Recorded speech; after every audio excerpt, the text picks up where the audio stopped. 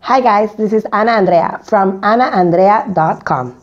Are you investing in yourself?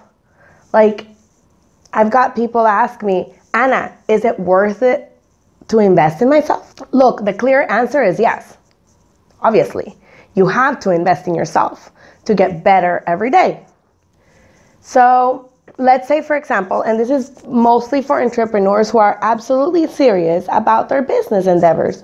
You know, it's not for everybody, um, but, well, it is for everybody actually. If you think about it, um, relationships also require to get better, to get the to get to know the other person better, to um, get better at your job as well. Um, this is not only for business people. No, actually, this investing in yourself topic, it's for people who are struggling in a subject or an area that think they need improvement. And you could go the free route with investing your time. And that's the first step that you should take, actually.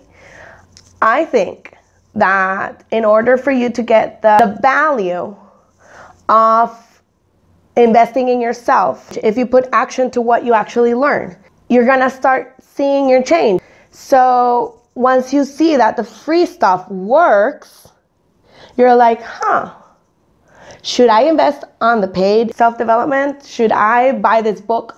Should I buy this course? Should I hire this coach? Um, yeah.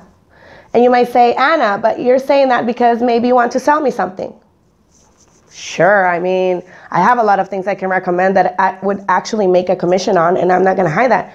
Um, and I'm going to give a disclaimer here.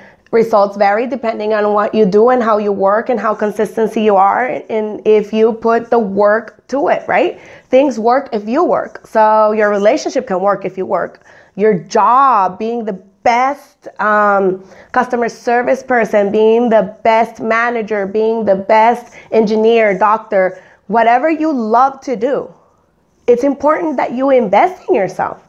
So, yeah, you could go the free route or the pay route, but what I'm saying is like, you should do it. You should do it no matter where you start.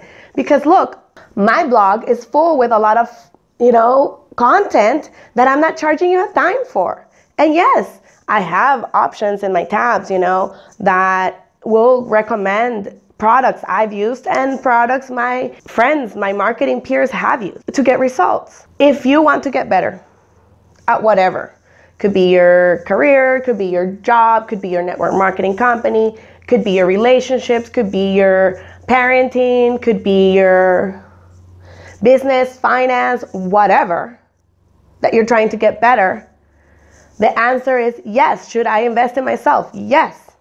When you invest in the paid, versus the free. And I've done both. Look, free requires for you to have time. Free requires you to invest time. Paid as well, you need to invest time, but with money. And what does that do as an advantage? It shortens the journey. And you will get there to your goal faster. You'll get results faster if you apply them, right? Wanted to share with you today because I've been investing in myself in events, and tools, and um, coaching, and group coaching, and participating on self development every day. And it has certainly shortened my my journey. I know how important it is to invest in myself, so I do it. Um, some people might think that self development or self help books because they think it's the same thing that it's not worth it because it's ridiculous, but it's not. When you invest in your mindset and in your mantras and in uh, your spiritual side as well, you will see that your energy changes. And when your energy changes, you attract the things that you want, which is what I want. I'll tell you what I want, and you can tell me in your comments what you want. I want to work with people that are proactive, that are happy, that believe self development is important, that invest in themselves time and money, that leverage, that want to know how to leverage tools. Those are the people I like to work with. So, in case that you got value out of this and you think your teams should listen to what I'm saying, make sure you share this because sharing is caring and subscribe to my YouTube channel as well for more videos on online marketing, network marketing, and positive mindset, guys. I'll see you in the next one.